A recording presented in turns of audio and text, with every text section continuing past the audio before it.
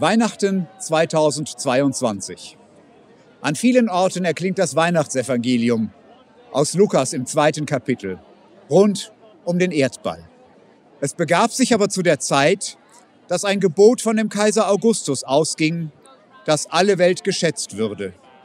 Und diese Schätzung war die allererste und geschah zur Zeit, da Quirinius Statthalter in Syrien war. Und jedermann ging, dass er sich schätzen ließe, ein jeglicher in seine Stadt.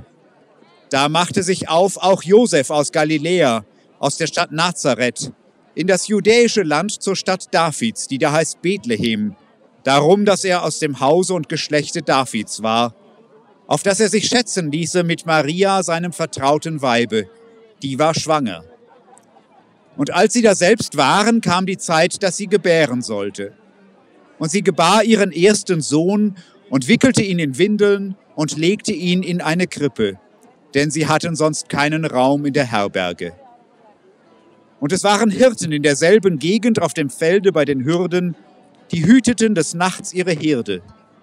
Und der Engel des Herrn trat zu ihnen, und die Klarheit des Herrn leuchtete um sie, und sie fürchteten sich sehr.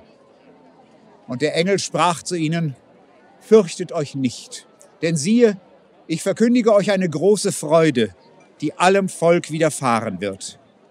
Denn euch ist heute der Heiland geboren, welcher ist Christus der Herr in der Stadt Davids.